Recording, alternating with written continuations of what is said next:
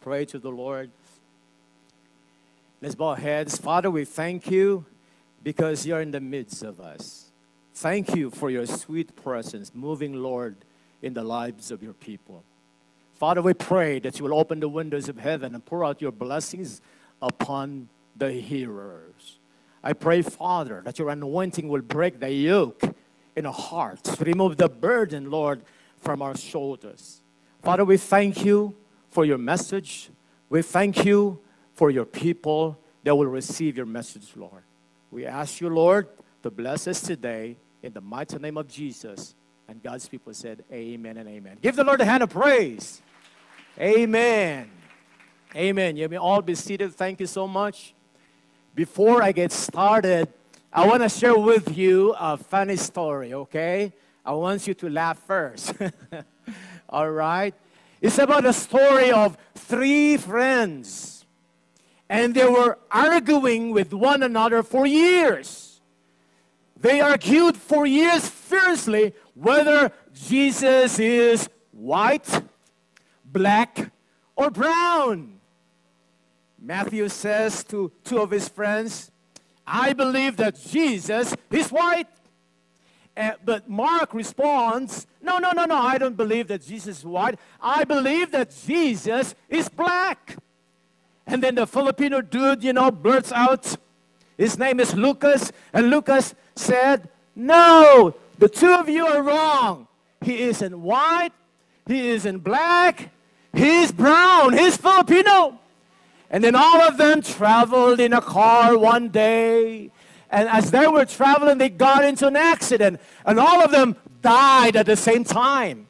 So all of them got into uh, the heaven, right? And they appeared before Saint Peter. And they asked Saint Peter to know who is right. And they asked, Saint Peter, is Jesus white, black, or brown? And then at that very moment, Jesus showed up and Jesus said, Buenos dias, mi amigos. So Jesus is Hispanic. Amen. Hallelujah. This morning, folks, I want to share with you a topic that God put in my heart.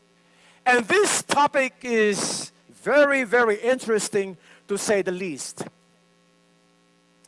This command of God refrains us from judging other people. You know, this command, we, we love this command the most because we want to announce this to other people. Don't judge, judge not. But interestingly, this is also a command that we often break. Right, folks? Let's open the Bible. Let's go to uh, our text Let's open our Bible to Matthew 7 1 to 6. Verse 1 it says, Do not judge, or you too will be judged. Can you say to the person on your right, on the left, judge not? Amen. Judge not. All right? Judge not, or you too will be judged. For in the same way you judge others, you will be judged. For in the same measure you judge, others will be judged. And with the measure you use, it will be measured to you. Verse 3 Why do you look at the speck of sawdust in your brother's eye and pay no attention to the plank in your own eye? How can you say to your brother, Let me take the speck out of your eye? When all the time there is a plank in your own eye. Jesus has a sense of humor here, right? How can you say, Let me take the speck out of your eye? Let me take out, remove the pling out of your eyes? When all the time there is a plank, there is a log or a plank in your own eyes. Verse 5 You hypocrite, first take the plank out of your own eye, and then you will see clearly to remove the speck from your brother's eye. Verse 6 Do not give dogs what is sacred. Do not throw your pearls to pigs. If you do, they may trample them under their feet and turn and tear you to pieces. So our text is taken from Matthew chapter 7, verses 1 to 6. All right? Well, the Bible says, judge not, folks, do not judge. Can we go back to verse 1 and uh, verse 2, please. Verse 1 and verse 2. When a judge, or you too will be judged, for it. in the same way you judge others, you will be judged, and with the measure you use, it will be measured to you. Folks, be very, very careful when you judge people, especially when you judge people with a critical spirit. You got to be very careful because if you judge them, you too will be judged. See, if you want people to judge you, you judge other people. If you want people to say something bad about you, go say something bad about other people. If you want people to condemn you, you say you condemn other people as well. Whatever you tell them, folks, he will come back to you. So you got to be very, very careful, folks. We as Christians, religious people, we tend to judge other people. Is that right, folks? We want to announce to people, don't judge. But we, as Christians, we often break this command. So, folks, be very careful. Now, let me share with you the three reasons why people judge. The first one is I have an acronym. The first one is S, the second is, is I, and the third one is N. It's S I N. It's easy to memorize. Okay, it's seen, right? So the first one is self righteousness. See, people judge because they are self righteous. See, folks, those people who are self righteous, they want to lower down God's holiness and they want to increase their own holiness. Folks, Jesus told of a parable of a two men, two men, the Pharisees and a tax collector. Both of them went to the temple and they prayed. And the Pharisee folks stood by himself and he prayed to God and he said, Lord, I thank you because I'm not these other people. They are robbers and evildoers and, and they're adulterers and they're murderers. And I thank you, Lord, that I'm not even like this tax collector. Lord, thank you, Lord, because I tithe I give my tithe. I fast twice a week. Oh, thank you, Heavenly Father, that I'm not like these other people. And folks, the tax collector, the publican, stood at a distance. He wouldn't even look up to heaven. And he beats his breast and he said, Lord, have mercy upon me, a sinner. Folks, in Greek word, a sinner is the sinner, the worst of all sinners. Lord, have mercy on me, the worst sinner. Oh, Lord, have mercy on me. And Jesus said, that man, the tax collector, who humbled himself. He went home justified, and the other one just went home. So, folks, be very, very careful. You know, some people they judge because of self righteousness. They think that they're always right all the time. They memorize the Bible. They know the Word of God. They judge other people. Folks, you got to be very careful because it will go come back to you. I heard of so many ministers in the past, they would stand behind the pulpit and they would lambast other people who live in sexual sin or sexual immorality. And folks, what happened? They too fell in the same situation, in the same sin. So you gotta be careful not to judge other people, especially when you judge them with a critical spirit. Amen. So self righteousness, self righteous. Oh, you know what? Mm, uh, he's not tithing. I tithe. He's not tithing. You know, oh, he's a murderer. Oh, he's an adulterer. You know, he's, he, folks, please. You know what the Bible says in First Thessalonians chapter 4, verse 11? Make an effort Make it as your ambition to live a quiet life and mind your own business. Amen? You know, even if it is true, folks, You have to be very careful not to judge them with vindictive spirit, not to judge them with their critical spirit, not to put them down. Amen? Give the Lord a hand of praise. Thank you, Lord. Self righteous. Self righteous. Remember, folks, if you judge people, remember if you say something bad about other people, Proverbs 18 21, life and death is in the power of the tongue. Amen. If you say bad words about them, if you condemn them, if you judge them, folks, man, it can cause harm, it can cause death in your relationship with other people. Amen. The second reason why people judge is because of insecurities, you know. We want to judge people by our standards. We want to get them to act like, like how we act or how we think or uh, how we do things. We want them to be like us. We feel insecure. We have the spirit of envy. We have the spirit of jealousy, folks. Folks, you got to be very careful. You know, sometimes we see our friends, oh man, look at John. He's driving a BMW. That's very, very expensive. He's, he's, he's not a, a nurse or a doctor. He's just, uh, you know, a minimum wage uh, laborer. How come he's driving BMW, you know? Please don't do that, folks. Some people like, maybe you're just insecure. Maybe you're not driving BMW. That's why you say that, you know. So you gotta be very, very careful. And sometimes on Facebook, you see people vacationing. Oh, look at that. Man, look at Mario and Maria there in Mexico, Cancun. They are vacationing. That's very, very expensive. Well, they're staying there for one week. Man, look at that. Where did they get the money, you know? Folks, you got yeah, maybe you're just jealous or something, you know. So, folks, you got to be very careful. Look at my friend. I saw him on Facebook. He went to this restaurant. Man, that's very expensive, you know. That one menu, man, is just maybe like you know 50 bucks or 90 bucks. You know, they can just go to this cheap restaurant and pay like nine bucks. Look at these people. Right, folks? We have a tendency to judge other people because of our insecurity. The third one, folks, is naivety. Can you say naivety?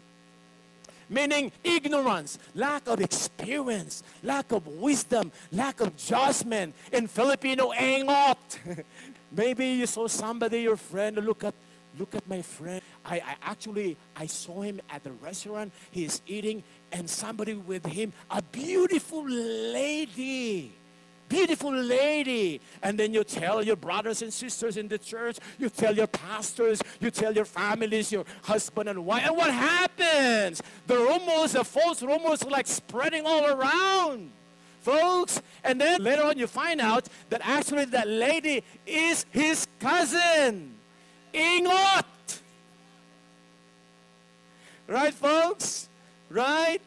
Naivety. Sometimes we're just out of our ignorance. You know, uh, one time there was this woman with five children, right? This woman and with five children, they went aboard a train, right? So on the train, folks, you know, the kids are uh, running all around helter skelter, you know, and they were throwing toys and everything. And then the man in the train said, Oh, look at this mother, you know. The mother is not doing anything, the mother is just sitting down. Oh, look at this mother she's a very bad mother. She, she doesn't pay attention to, to, to her children. Look, she's very bad. She's a very bad mother, you know. Maybe she's an unbeliever. Maybe, maybe she doesn't go to holy ground, you know. but then there was this other lady besides that mother, and she asked, Hey, ma'am, is there something wrong with you? And she said, uh, you know what, I'm, I'm, I'm so sorry because I just got a news, you know, a very bad news, you know, my husband got into an accident and he just passed away, he died. Right? Hang on. You have to find out first what's going on with the mother before you pass judgment on that mother. Right, folks? A lot of us, you know, fall in the same sin. So you got to be very careful. That's why Jesus said, judge not or you too will be judged. Let's go back to verse 3. The Bible says in verse 3, Matthew 7 of verse 3, the Bible says, Do not look at the speck of your brother's eye. A lot of us are like, you know, some people you know, they're like an expert professional uh, fault finders or speck finders. They go around, they dig up other people's faults, and they want to spread the, the false information about those people. The Bible says, why do you look at the speck of dust in your brother's eye and pay no attention to the plank in your own eye? How can you say, let me take the speck out of your eye when all the time there is a plank in your eye? Folks, you got to be very, very careful. Before you judge somebody, you have to look at yourself first. Maybe you may be judging other people. Oh, that person is committing adultery. Oh, that person is living with a woman outside his marriage. Oh, he's going to go to hell. And then you put it on Facebook, you know. Right, folks? You don't do that, folks. You got to look at yourself because the Bible says all of us are sinners. Is that right, folks? You may be saying, oh, he's committing adultery, he's that, he's a murderer. But you, how about you? Maybe you are looking at pornographic movies. In the privacy of your room, nobody sees. You say to them, you are not tithing. You're all, you're always, you're always uh, working. You don't go to church you know. You judge other people, you know. But you yourself, maybe there is pride in you. Maybe you have a spirit of jealousy, or maybe there's a spirit of envy, or maybe there's a spirit of bitterness in your life. So, folks, all these things the Bible says, you know, the Bible says those murderers and, and proud and coward and revilers and slanderers and all this, you know, they don't inherit the kingdom of God. Folks, be careful when you judge other people. Look at yourself first. Right, folks? It's very, very important to look at yourself first. Verse, let's go to verse 5, please. Verse 5. Oh, Erik, what do you mean? You are promoting a, a spirit of passivity. You're promoting a spirit of apathy. You're, you're promoting a spirit of insensitivity. So that means, Erik, when I see my brother who is sinning, I cannot judge him. I'm not saying that you cannot judge him. In fact, the Bible says, folks, in 1 Corinthians chapter 5, verse 12, it says in there, Paul says, it is not my responsibility to judge the outsiders. But it is your responsibility. It is definitely your responsibility to judge those who are in the church who are sinning. So, folks, God is teaching us that we as Christians can also judge.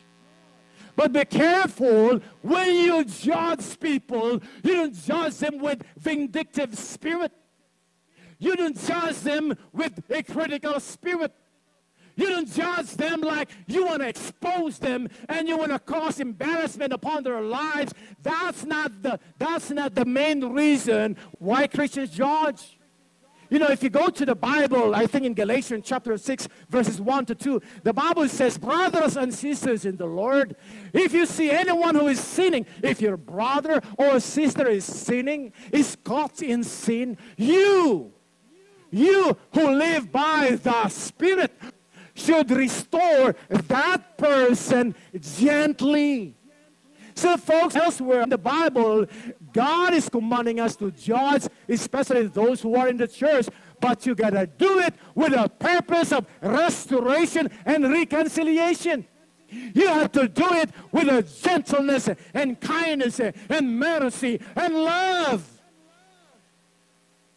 You're going to just judge them. Folks, see, the Bible says, five, you hypocrite, if you judge people with a critical spirit. You are a bunch of hypocrites a bunch of pretenders, a bunch of fakes, a bunch of uh, plastic mask wearers. You are phonies when you judge them without looking at yourself first, when you judge them with a critical spirit. Folks, we can judge. Look at that. Verse 5. You hypocrite. First, take the plank out of your own eye. How do you judge other people? First, take the plank out of your eye. You have to put your house first in order. You have to put your life first in order. You have to look at yourself first. You're judging other people. he's committing this, he's committing this sin and that. But you look at yourself first. Maybe you you have full of pride in your heart. You have to get rid of your sins first. You have to take out the log out of your eyes so you can see past the logs. You have to be clean first before God, before you judge other people. That's the number one when you judge people. And then the Bible says, when you remove your logs out of your eyes, when you remove your sins out of your life, then you will see clearly to remove the speck from your brother's eye. Because folks, if you're full of hatred, if you are living in sin, if you cherish sins in your heart, you cannot see clearly. How can you judge other people when your heart is full of sins? That's why you gotta confess your sins. You gotta be clean before God first before you judge other people. Yes, you can judge. Yes, you can judge other people, folks. But you have to do it with full of grace and also with full of truth. Now, some people they judge other people only with full of truth. No full of grace.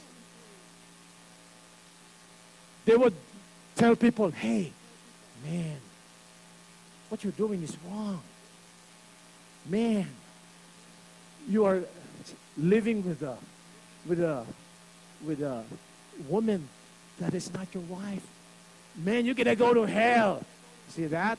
So like they're very like, they always judge people with a critical spirit, folks. And there is no sin, there is no, there is no love in there. There is no mercy in there. there.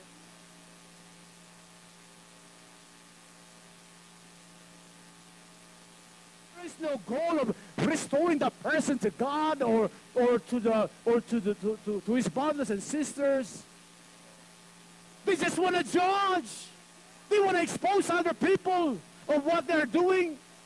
They want to embarrass people, folks. You cannot do that. You got to have full of grace. Folks, if you make an issue out of sin, then the solution to sin you dispel the proclamation of the gospel of the Lord Jesus Christ with self-righteousness. You focus on the sin, you know. It's a bad business to reform other people, especially the unbelievers, before these people become Christian or become regenerated in the spirit. Like, you know, some wives, you know, they have problems with uh, husbands, and the husbands come home and they're very, you know, like they're alcoholic, they're drunkard. And then the wife, like, they have, sometimes they have, you know, sharp mouth, you know. Hey, look at this, you're, you're drinking, you're, gonna, you're drinking, you're drunk again, you know. And if you do that always, you know, you will destroy your brain, it will destroy your liver, you're going to have hepatitis, you're going to have cancer, and blah, blah, blah. So every day the husband hears that all the time. So they make an issue out of the sin, folks. But there is no love in there. There is no kindness in there. See, folks, when you approach those sinners, you can approach them with tears in your eyes, with love and compassion and forgiveness and mercy in your hearts. You can approach them with agape love of the Lord Jesus Christ. Folks,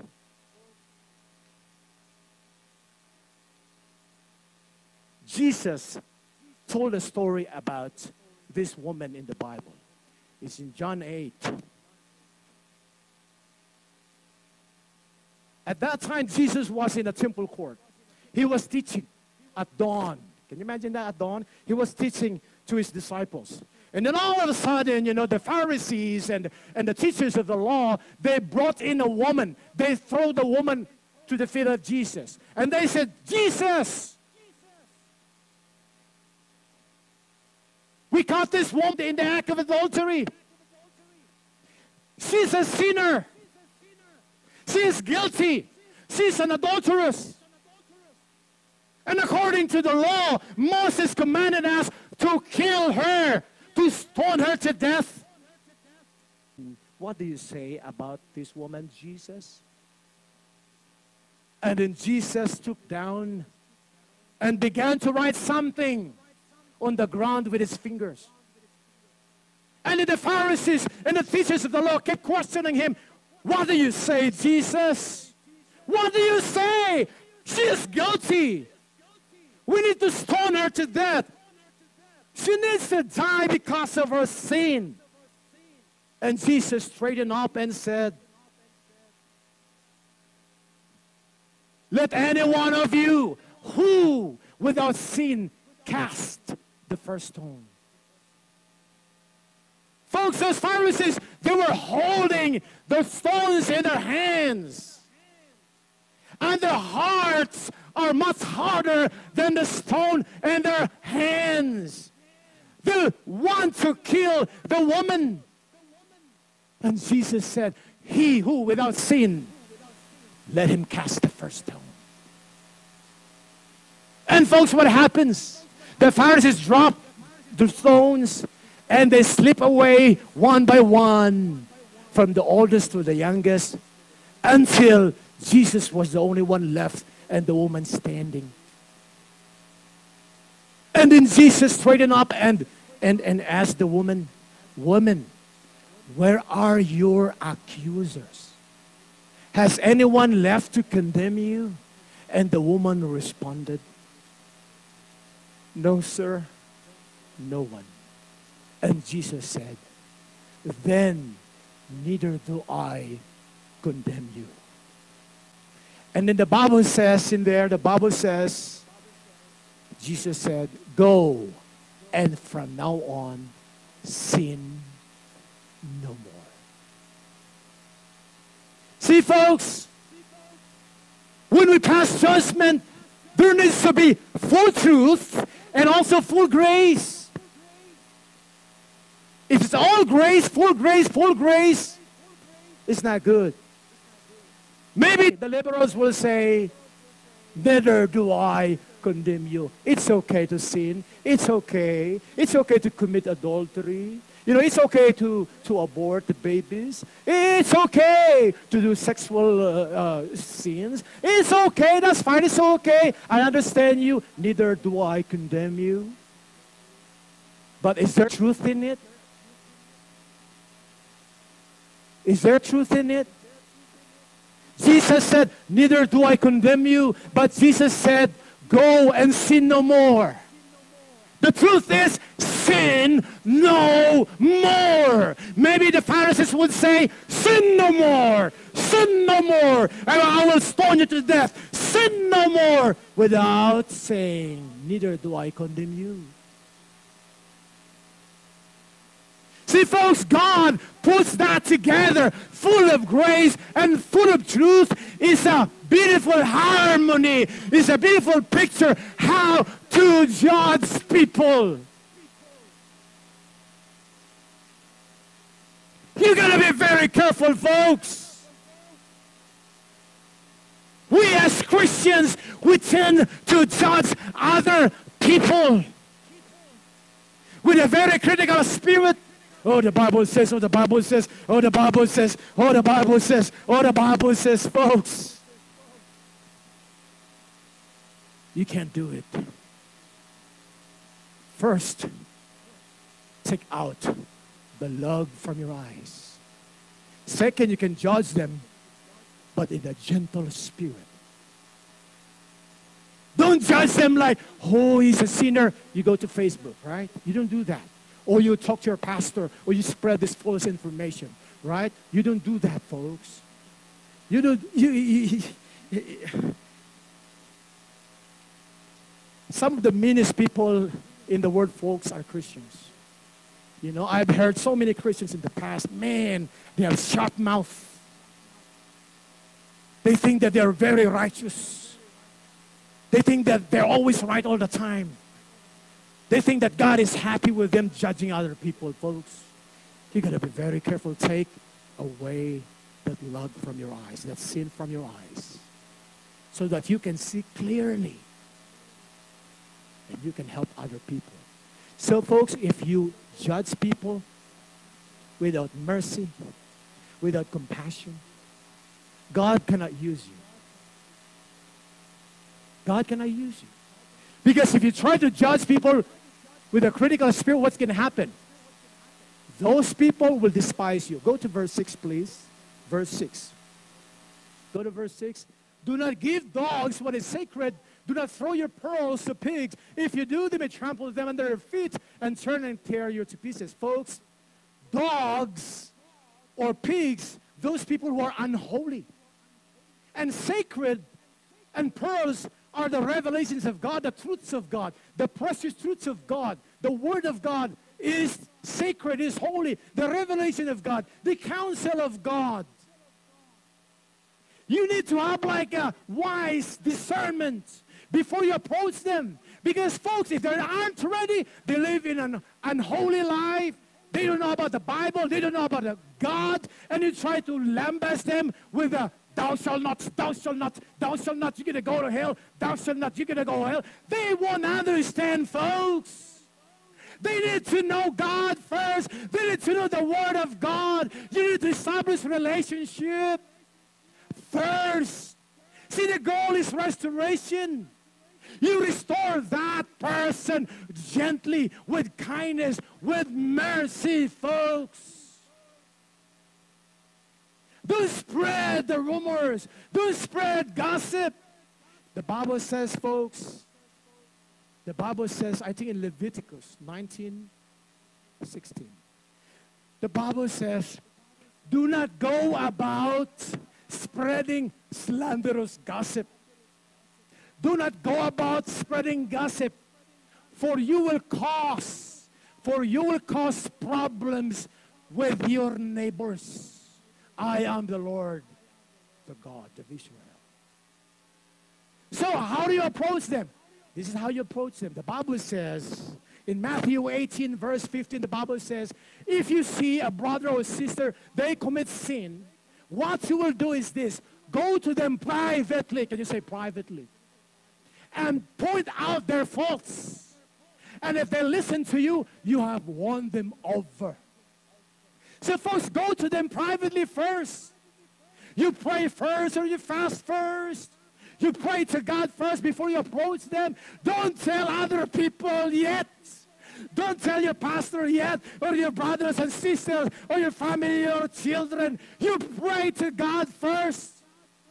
And then go to them privately, ask wisdom from God, and then talk to them gently with kindness, with a purpose of restoration and reconciliation. And if they listen, then you have won them over.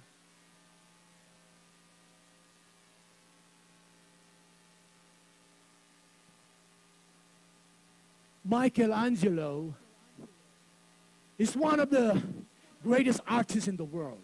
You know Michelangelo? He's an artist, right? He's a sculptor, he's a painter, you know, he's an architect, he's a, he's a poet, you know. He's a very, very, he's a very, very good sculptor. And one day, folks, in Florence, in his place, he was walking past the quarry. And then he saw a, uh, a piece of marble, a piece of marble that is very, very ugly. And uh, they, they, they, had, they had thrown it because it's ugly. It's misshapen, it's ugly. And then uh, Michelangelo was looking at it for a while, and then he said, I want, I want that piece of marble. And they said, sir, you want that piece of marble? That's, that's, that's, that's useless. Uh, that's ugly. You know, they had thrown it away. It's ugly. You don't need it. No, no, no, no, no, no, no. I want the piece of marble because I see an angel in it and I want to liberate that angel from that marble. And folks, one day he sculptured that marble. And out of that ugly, discarded marble, he made a sculpturing of a very beautiful angel. Can you show it to us, please, the last slide? A very beautiful angel. Look at that. That's what he did. See, we look at people who are sinners like, oh, they're ugly. They're not fit for the kingdom of God. They are dirty. They are sinners. They're going to hell. But Jesus look at them, God looks at them as saints. Jesus, God doesn't love us for who we are. He loves us for what we can be. He changes us. And then he can love us? No. He loves us first, and then he changes us. See, folks, look at those people as saints. Don't look at them like ugly, immoral, dirty, not fit for the kingdom of God. You want to see them as God sees them, folks. You want to see them with grace and compassion, with agape love. Jesus came to earth not to condemn, but what? To save the world. So you have to be very careful before you judge other people. Yes, you can judge, but look at yourself first. And then you have to approach that person with a gentle heart with kindness. And then you can win that person for the Lord. Amen. Let's all stand. Please all stand. Let's bow our heads and close our eyes. Father, we thank you for your message. Lord, it is clear for us not to judge other people with a critical spirit. Help us, Lord God, to look at ourselves first Help us, Lord, to stand clean before you first. Grant us, Lord, the wise discernment, the wise, the wisdom of God. Help us to apply wise discrimination and help us to avoid wicked condemnation. Oh God, help us to see beyond their faults and see their needs. Help us to understand that there is a story behind their sins. Help us, oh Lord, to surround them with love and acceptance. And help us, Lord, that the Holy Spirit will work out sealing process in their hearts through us, oh Lord. Give us the understanding and the wisdom on how to approach them, on how to win them, and how to bring them to you. Folks, give us the wisdom, oh Lord. Give us the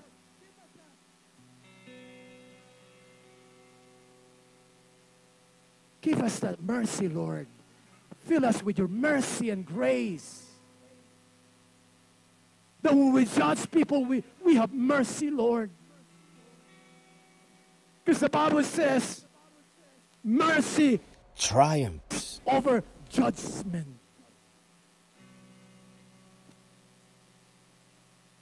And you say, Lord, if we are merciful, then you can we can be shown mercy.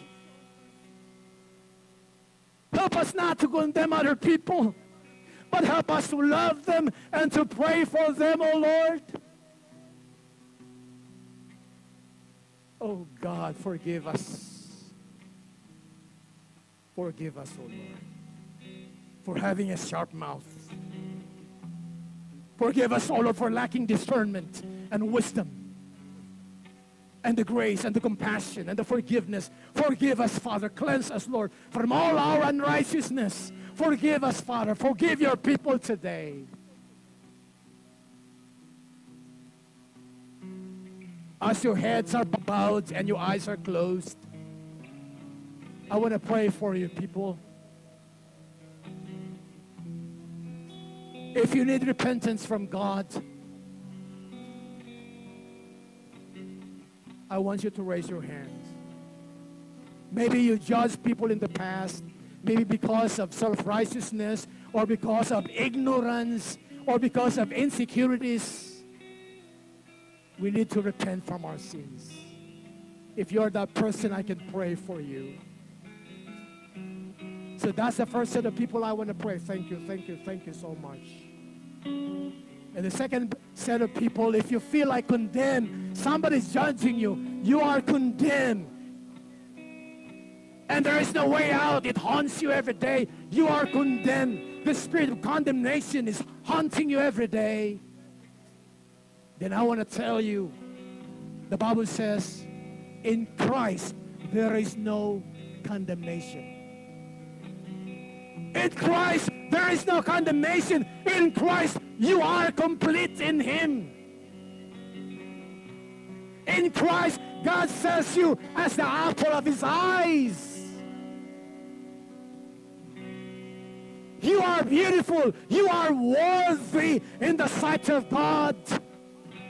And all you have to do is just confess your sins. The Bible says if you, can, if you confess your sins to God, He's just and faithful to forgive you all of your sins and cleanse you from all unrighteousness. So, Father, I pray for these people, Lord. I pray that you will forgive them. Lord, for judging other people out of self-righteousness, out of insecurities, and out of ignorance. Oh, God, forgive them and cleanse them with your precious blood. And Father, I pray also for those people who needs Jesus, who needs you, Father, I pray. Lord, that you will open their hearts right now in the mighty name of Jesus. And Lord, your Holy Spirit will come into their hearts and forgive them and cleanse them, Lord, with your, precious, with your precious blood. Father, Lord, do surgery in their hearts right now. Bring revival in their hearts in the mighty name of Jesus. Oh, Father, we thank you for this simple message, Lord. Judge not. And Lord, help us, Lord, as we judge other people, that we have this grace in our heart. That we judge them with, with full truth and full grace. In the mighty name of Jesus. Father, I thank you. I give you praise and I give you glory in the mighty name of Jesus. Hallelujah, Lord. Hallelujah, Lord. Hallelujah, Lord. Folks, if you need prayer right now, we still have time. I want you to come forward, please. I want you to come forward and I pray for you. If you have any situation or problems, you know, aside from the topic today, or if you're sick or anything you need prayer for, I want you to come and let's pray. Please come and we'll pray for you. Amen. Hallelujah, Lord. Thank you, Lord.